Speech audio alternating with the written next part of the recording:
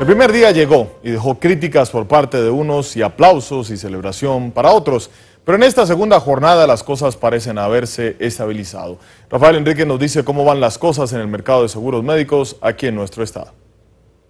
Para quienes se oponen al Obamacare, ayer fue un día catastrófico y apuntaron a que el sitio de internet donde miles tendrían la oportunidad de registrarse colapsó, demostrando que no estaba listo. Simplemente teniendo la mejor opción para ustedes en, mente. Sin embargo, para quienes están a favor, significó que hay interés en el programa, como explica Fernando Pineda. Tal vez hubo problemas tecnológicos que tienen que ser reparados.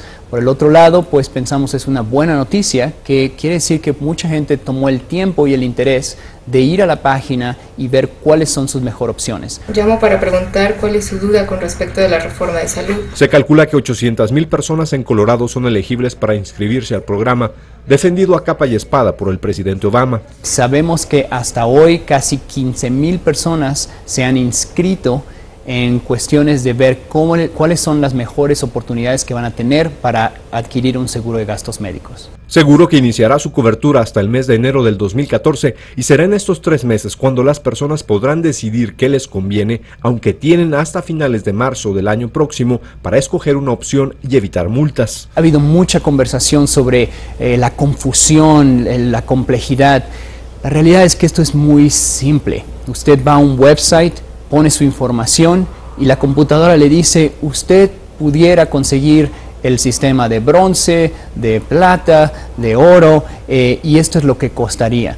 También sabemos que eh, hay la porción del subsidio y del crédito. Y la mayoría de las personas preguntan sobre si estarán cubiertos quienes no tengan documentos. Dependiendo de su estatus migratorio, tal vez algunas personas no califiquen, pero los miembros de su familia sí. ¿Alguna duda, pregunta para mí? Para quienes no hablan inglés, organizaciones comunitarias ofrecen ayuda gratuita en español. Ayudamos a la comunidad latina a inscribirse a los programas de asistencia del cuidado de salud, porque hay mucha falta de información ahorita, mucha falta de educación en nuestra comunidad de a quién aplica la ley, quién califica, cuáles son los estatus legales que entran dentro del programa y cuáles son los beneficios que en realidad están disponibles. Pues me siento muy bien porque la verdad sí batalla uno cuando no habla muy bien el inglés, sí batalla uno para poder llenar un documento y pues este gracias a que existen estas organizaciones humanitarias pues este es como uno puede em, suplir esas necesidades. Para más información puede visitar la página cuidadodesalud.gov. Es la información que tenemos hasta el momento. Vamos ahora de regreso con Juan Carlos al estudio. Muchas gracias a Rafael por esa información.